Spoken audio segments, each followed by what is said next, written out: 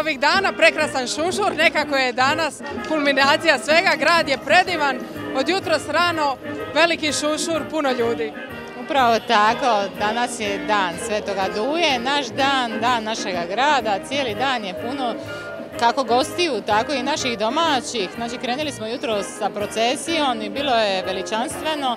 Procjenjuju da je bilo negdje od 20-25 tisuća ljudi, što nas veseli, jer zaista znači, svi uživamo zajedno u danu našega grada. Došli su nam jako puno stranih prodavača da prodaju svoje razno razne proizvode, imaju zanimljive štandove. Naši gosti se pitaju kakve su nam kakvi su nam običaju i da li je to tradicija. Znači, nudimo sve ono što predstavljamo, predstavlja našu tradiciju, našu kulturu i naše običaje, a to je u biti je cilj, da gosti dobiju on, on, oni doživljaj, doživljaj destinacije u kojoj jesu. Vrhunac večer je pred nama, tradicionalna tombula i jedan veliki koncert. Upravo tako, znači u 19 sati izlačimo našu tombolu tradicionalnu, nagrade su odlične, ja se nadam da je prodano puno kartela, E, evo prilika da svak nešto zaradi, a u 21 sat imamo tradicionalan koncert, grupa Libar, nakon toga veliki vatromet i kao šlag na torti Masimo.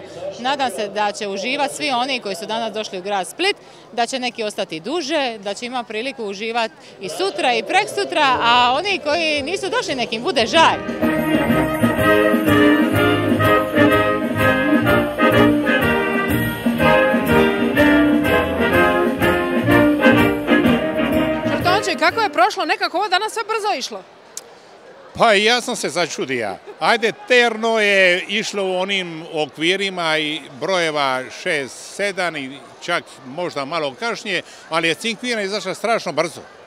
Puno brzo je izašla i s time je onda i tombula, tombula koliko je god parilo da je veliki razmak između Cinkvine i, tombule i tombula izašla brzo, ali dobro je neka, bar sam se ja rasteretija ove, ove dužnosti malo prije nego što je inače.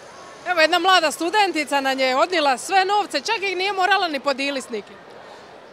I to je lipo. Već, ajde, ono terno, kad dobiješ terno, su dobili njih pet, pa su podijeli, to je po jadu kun, mogli, mogli su dobiti još više, jer to je, ajmo reći, mala cifra, ali veliku cifru. Ma šta ćeš dijeliti, šta ćeš dijeliti, ne gušta bar jedan čovjek, jedan put u životu. Mihajle, čestitamo, jesi li uzbuđen? A, jesam, uzbuđen, uzbuđenje na vrhuncu, definitivno. Koliko si uopće kartela kupila? Jednu, i to zadnji minut, doslovno. I tu jednu uspjela si nam zgrabi sve novce. Ste vidjeli? To je srića. Kakva je bila reakcija kad si bila da je zadnji broj? A, više sam, ono, ja sam bila okej, ali ovi moji su ono total, 87, 87, 87, kao sam se ja rekao, ono, gotovo. Si bila bil- blizu bine ili si se morala probiti? Tu smo, mi odmah ovdje bili iza i ono ka, sve na je tu, sve ćemo razmaknuti ako dobijemo. Si uspjela uopće u ove dvije minute smisliti di ćeš potrošiti tolike novce? A, oni su mi već odredili di ćemo mi potrošiti sad, ono, sve cijeli plan su smislili, ono. Znači, to nisu tvoji novci nego vaši. Ekipno, to je to, tako ide to u nas.